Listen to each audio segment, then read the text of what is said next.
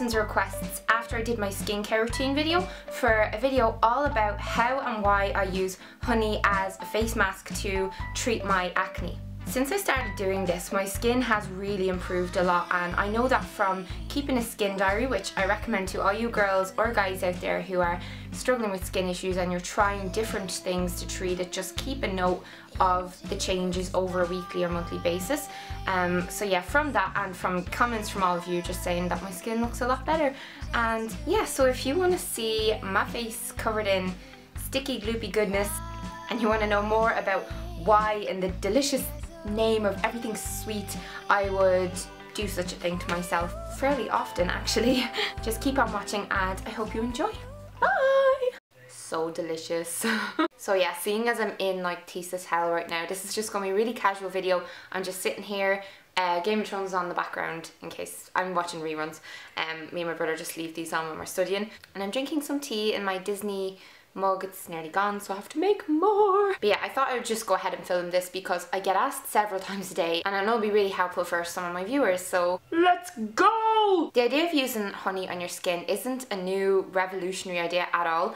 Um, there's actually stories of like Queen Cleopatra from ancient Egypt adding this ingredient to her beauty baths because she knew about the benefits of honey and she wanted to reap all the cosmetic benefits. It can be used to treat wounds, burns, ulcers, boost your immune system. It's full of essential vitamins, minerals, antioxidants which are really good at fighting free radicals. It's also an incredibly strong antibiotic, kills bacteria. It's good for allergies and it's even anti-inflammatory. The high sugar concentration in honey and its acidic acidic properties impair bacteria's ability to replicate and the anti-inflammatory kind of benefits can prevent the redness and swelling that can come with acne sometimes. Now all this said and before I continue, yes it will help your breakouts, it will soothe them, it will heal irritated skin, but it won't actually make acne disappear and never come back. For that, you need to treat the root cause of your acne, and I've talked about all that in my skincare routine video and my seven steps to clear skin video,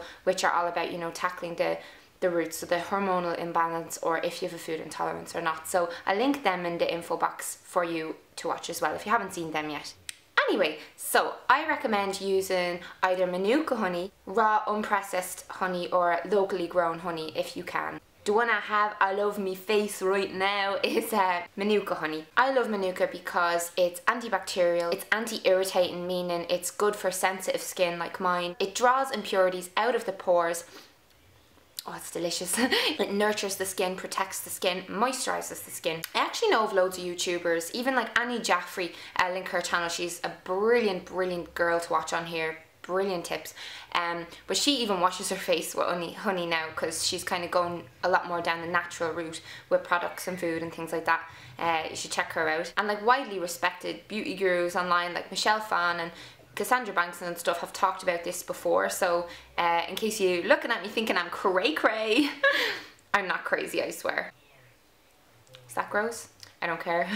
yeah, honey is just such a natural, cheap, effective and widely available product that I just feel like a lot more people deserve to know about how amazing it is for your skin. So honey couldn't be any easier to use as a mask. Seriously, like you just start with a freshly cleansed face, no moisturizer or anything. I'm actually testing out a couple of dupes for the Clarisonic at the moment because I know that all the girls on YouTube use the Clarisonic but it's so expensive, like it's out of the price range for so many of you and even for me, like I'm on a student budget myself so I'm trying out some cheaper alternatives and uh, yeah I'm gonna have an upcoming video about that but yeah, I use that to clean my face at the moment. And then what I do is I keep a separate jar of honey to the one that I eat in the bathroom and I just dip my hand in and take out a big lump of it and I just put it all over my face. Like it's not, there's no step-by-step -step instructions for this. That is how easy this is and literally anybody can do it.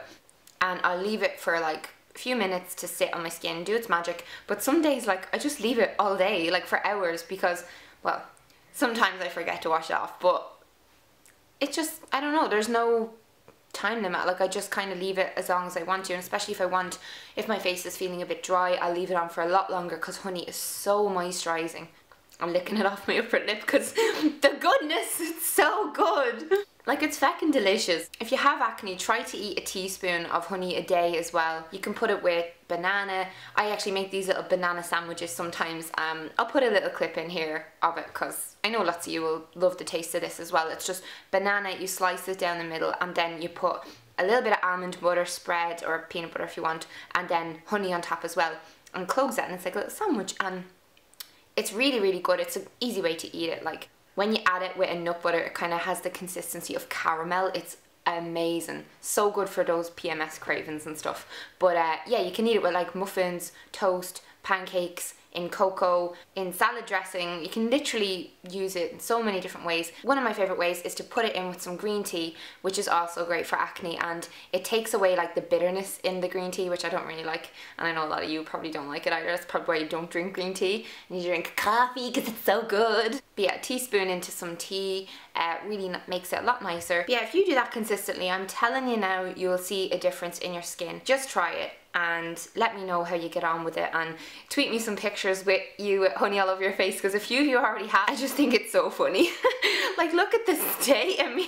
it's not a great thing to do when the boyfriend's over, unfortunately. If you have any more questions about honey and using honey as a mask, or if you have any more feedback from me, please leave a comment. Um, I love reading all your comments and your emails and don't forget to give this video a thumbs up if you enjoyed it or found it helpful in any way. Yeah, uh, if you want more videos about like natural beauty products and stuff like lemon, apple cider vinegar, all those kind of things, just let me know. Be very happy to make them. I'll talk to you again soon guys, okay? Bye!